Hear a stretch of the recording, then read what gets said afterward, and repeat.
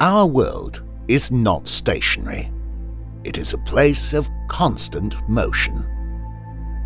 One of the basic qualities found in all living creatures is the ability to move and grow. As the pinnacle of all God's creations, the human race was never intended to remain in one place. No, we were made to move and learn. We were created to grow and change. The universe around us also moves in continuous ways. It follows laws and patterns organized by God.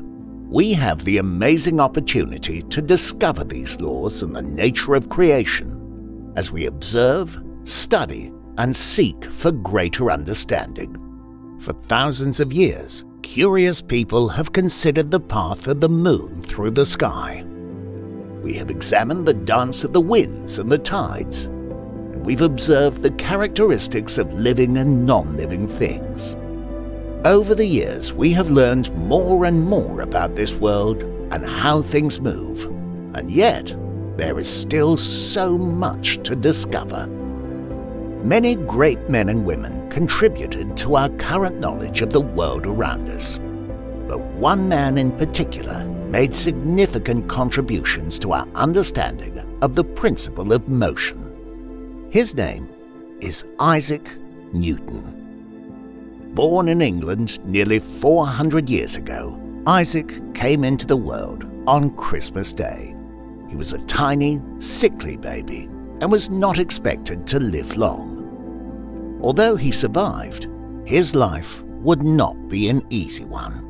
His father had passed away a few months before his birth, and when his mother remarried, he was sent to be raised by his grandparents. Isaac was a quiet child, but he loved to read books and observe his surroundings.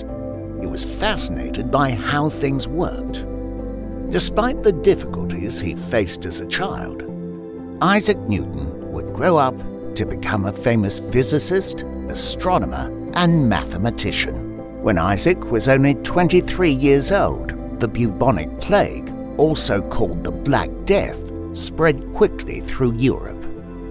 During nearly two years of quarantine, he stayed at his family farm in Lincolnshire and devoted himself to study, meditation, observation, and reading.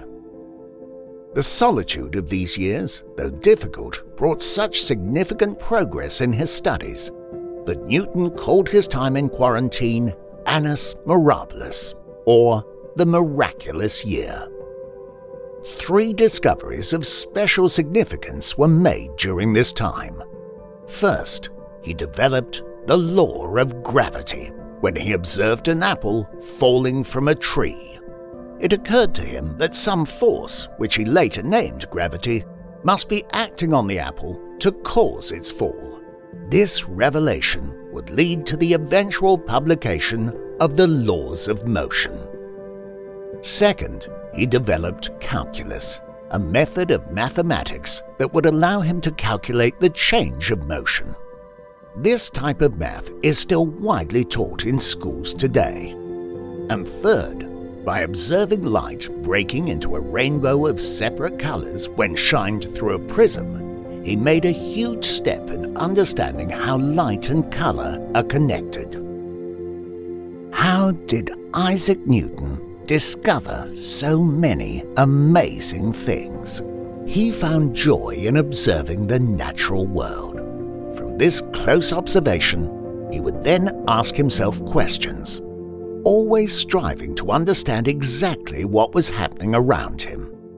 Next, he would read and study the findings of others. Through this painstaking process, he found answers to many of his questions. However, he was not one to seek glory or fame, and he knew that the wisdom and hard work of others were the basis of his progress. He is known for saying, If I have seen further it is by standing on the shoulders of giants. We too can stand on the shoulders of giants by studying and learning about the world in which we live. By taking time to carefully observe the intricacies of our world, study the scientific work of others, and ask questions about what we see, we can uncover and understand great things. Isaac Newton observed an apple falling from a tree and unearthed the concept of gravity. What will you one day discover?